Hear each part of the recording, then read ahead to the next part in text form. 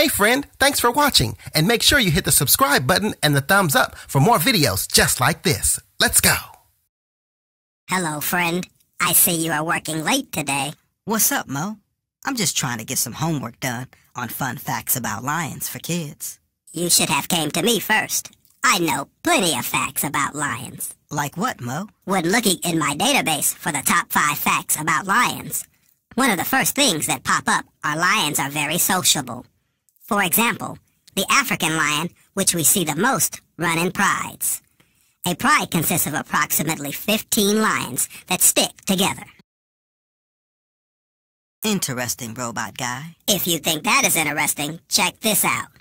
When it comes to the pride, male lions protect the pride at home, while female lions actually go out and do all the hunting for the pride.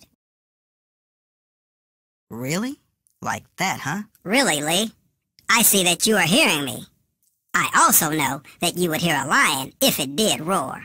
For example, it is said that a lion's roar can be heard up to five miles away.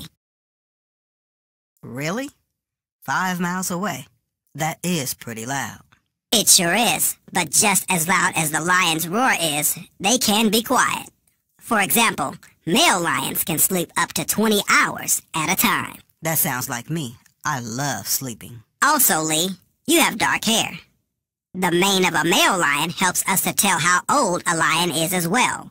For example, the darker the mane, the older the male lion.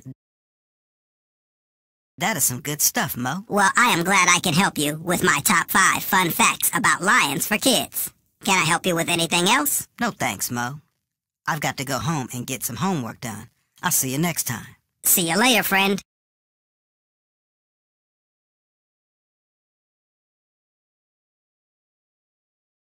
And I hope you had fun learning with F R E S B E R G cartoon.